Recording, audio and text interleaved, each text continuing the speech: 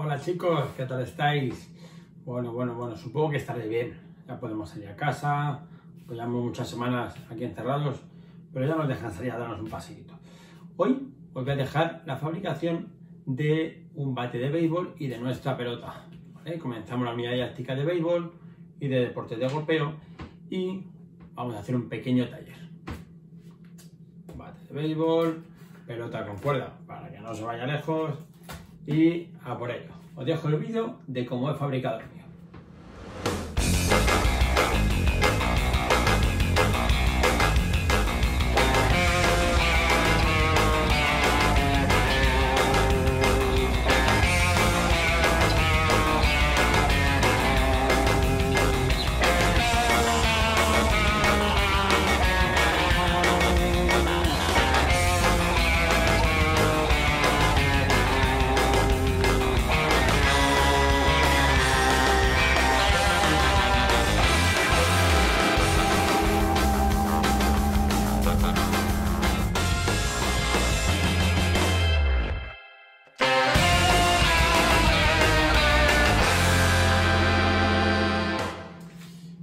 Bien, pues aquí estamos. Nuestro bate de béisbol, nuestra pelota, colgadita de un sitio, la lámpara, la puerta, pero un árbol o algo del exterior, mucho mejor.